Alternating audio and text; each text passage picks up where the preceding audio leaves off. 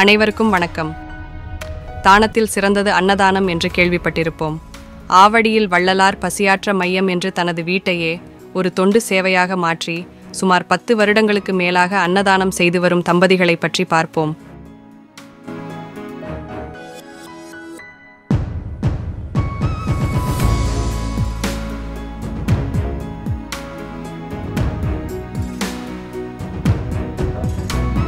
அருட்பெருஞ்சோதி அருட்பெருஞ்சோதி தனிப்பெருங்கருணை அருட்பெருஞ்சோதி. எல்லா உயிர்களும் இன்புற்று வாழ்க. கொல்லா விரதம் கோலயமெல்லாம் ஓங்குக. வள்ளல் மலரடி வாழ்க வாழ்க. ஆண்மநேய அன்பர்கள் அனைவருக்கும் தயவான தன்மார்க்க ஆண்மநேய வந்தனம். ஐயா நாங்கள் வந்து ரெண்டாயிரத்தி பதினேழாம் ஆண்டு டிசம்பர் மாதம் ஒரு அன்பருடைய அவர் கூட நாங்கள் வந்து வடலூர் வள்ளலாருடைய ஞான சபைக்கு போயிருந்தோங்க ஐயா. அது எதேச்சியாக நாங்கள் வந்து கும்பகோணம் போகும்போது அந்த பக்கமாக போகலான்னு சொல்லி போயிருந்தோங்க. அங்கே போயிட்டு ஞானசபையில் போயிட்டு ஜோதி தரிசனம் பார்த்துட்டு வந்தோங்கய்யா. அது வந்து ஒரு சுமாராக ஒரு ஒரு வாரத்துக்குள்ளே எங்களுக்குள்ளே வந்து ஒரு சிந்தனை வந்ததுங்கய்யா. அதாவது நம்மளால் முடிஞ்சதை இந்த ஏழை மக்களுக்கு ஏதோ ஒரு ஒரு இருபத்தஞ்சி பாக்கெட்டோ டெய்லி உணவு கொடுக்கணுன்ற ஒரு சிந்தனை வந்தது. அதை என்னுடைய மனைவி கிட்ட பகிர்ந்துக்கிட்டேன் அவங்களும் தாராளமாக செய்யலாம் அப்படின்னு சொல்லி ஒத்துழைப்பு கொடுத்தாங்க. அப்போ நாங்கள் ரெண்டாயிரத்தி பதினேழாம் ஆண்டு நாங்கள் இந்த சிந்தனை வருவதற்கும் ஒரு ஒரு வாரம் கழித்து தைப்பூசமும் வந்தது. அந்த நாளில் ரெண்டாயிரத்தி பதினேழாம் ஆண்டு தைப்பூசம் அன்றைக்கி இதை ஆரம்பித்தோங்கய்யா முதல்ல நாங்கள் ஆரம்பிக்கும் போது ஒரு இருபத்தைந்து பேருக்கு உணவு கொடுத்தோங்கய்யா நாங்களே சமைச்சு இங்கேயே பரிமாறி கொடுத்துருந்தோம். அதுக்கப்புறம் ஒரு ஆறு மாதத்துக்குள்ளே ஐம்பது ஆயிடுச்சுங்க. அதுக்கப்புறம் இன்னைக்கு இன்னைக்கு தேதியில் பார்த்தீங்கன்னா டே தினமும் ஒரு நூறு பேருக்கு அன்னதானம் பண்ணிகிட்டு இருக்கோம். தொடர்ச்சியாக பண்ணிகிட்டு இருக்கோம். கொரோனா காலகட்டத்தில் கொரோனா காலகட்டத்திலையும் ஒரு நாள் விடைவிடாமல் அந்த காலத்தில் அந்த காலகட்டத்தில் ஒரு எ- முந்நூறு பேர்கிட்ட அன்னதானம் பண்ணிருக்கீங்க ஒரு நாளைக்கு தொடர்ச்சியாக அந்த தொடர்ச்சியாக அந்த மூன்று ஆண்டுகளும் அந்த கொரோனா காலகட்டத்தில் எங்களுடைய வேலைகள் முழுக்க எல்லாத்தையும் தள்ளி போட்டுட்டு ஜீவகாரணிய சேவையை எங்களுடைய உயிர் மூச்சாக எடுத்துக்கிட்டு தினமும் மக்களுக்கு அன்னதானம் பண்ணிட்டு இருந்தோம் இதைத்தான் நாங்கள் வந்து டெய்லி ஒரு பதினொன்றரை மணிக்கு மக்களுக்கு ஏழை மக்களுக்கு இங்கே நூறு பேருக்கு அன்னதானம் பண்ணிட்டு காருண்யம் பற்றியும் உயிர் வதைகள் இருக்கக்கூடாது கொல்லா நெறி பற்றியும் வள்ளலார் சொன்னதை பற்றி ஏதாவது சில வரிகள் வந்து மக்களுக்காக சொல்லுங்க.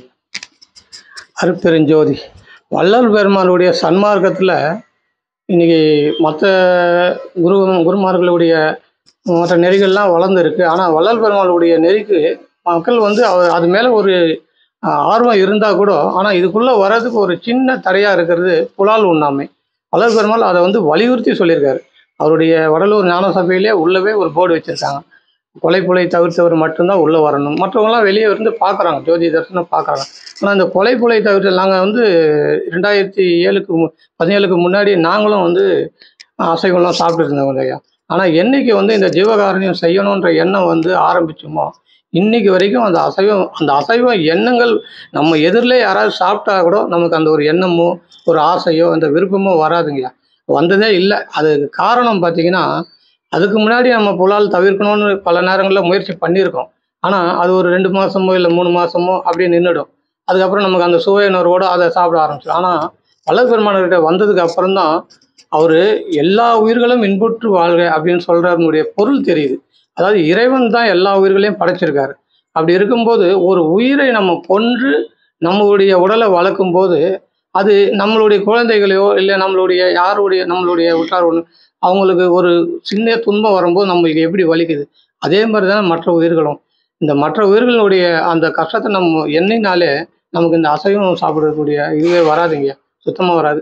இன்னைக்கு வரைக்கும் வள்ளலாருடைய சன்மார்க் அன்பர்கள் யாருமே அசைவ பிரியர்கள் கிடையாதுங்க. எல்லாரும் இருந்துட்டு அதுக்கப்புறம் தவிர்த்துட்டு இன்னைக்கு அதை ஃபாலோ பண்ணிட்டு இருக்காங்க. அருட்பெருஞ்சோதி தனி பெரும் கடுமை அரு பெரும் ஜோதி. நமக்கு வேலை வலுவினால் கடினமான உடல் வலி மற்றும் மனச்சோர்வு ஏற்பட வாய்ப்பு இருக்கிறது. ஆனால் பத்து வருடங்களாக தினமும் தமக்கு மட்டுமில்லாமல் மற்றவர்களுக்கும் சமைப்பது என்பது ஒரு சவாலான காரியம்தான்.